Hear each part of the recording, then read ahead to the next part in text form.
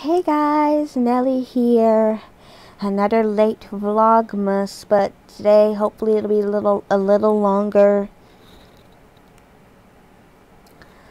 Um, today I'll be doing another Christmas special review, and as you can see in the title, it's it's the one hour big time rush Christmas special, big time Christmas. Now, a little history. I I am I'm a big fan of Big Time Rush. I have all their albums. I love that I love all their I love their songs. I love their TV show, and I just love them, and I just really enjoy them. Of course, they've gone they kind of kind of gone their separate ways, but hey, I support that.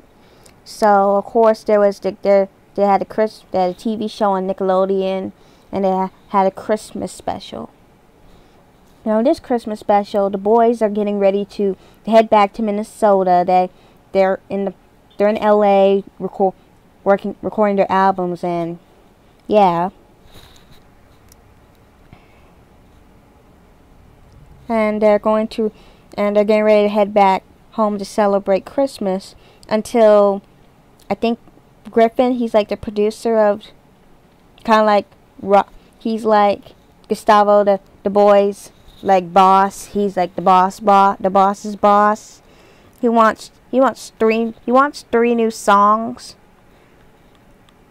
He wants three new songs that are like a cover. for a new Christmas EP before they head home, so the boys have to scramble to gamble to prepare to prepare three new songs so they can get so they can go home. One of the songs is Beautiful Christmas, which I really, really love. The second song is the is Mariah Carey's All I Want for Christmas with guest star Miranda Cosgrove. I'm a big fan of her.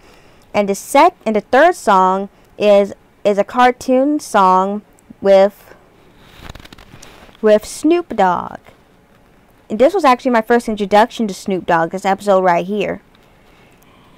And so they have an, they have a little anim for that one. They have a little animated short, short where the boys are squirrels, because it's based on Gustavo's old old record Yard Squirrels. Kind of. I wonder where that where they got that idea. I wonder what that's parroting.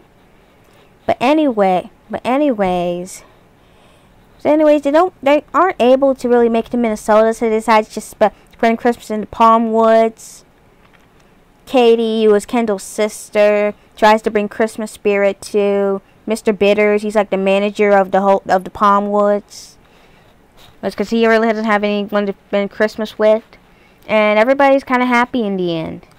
And so that was Big Time Christmas. I really enjoyed it. I really enjoyed the songs, the characters, and yeah, this is kind of a short review. I try my I try my best. I really do. I try my best. So, uh, so thank you guys for watching. If you like this video, push the like button. Subscribe if you haven't. And I'll see you guys in the next video. Mm -hmm.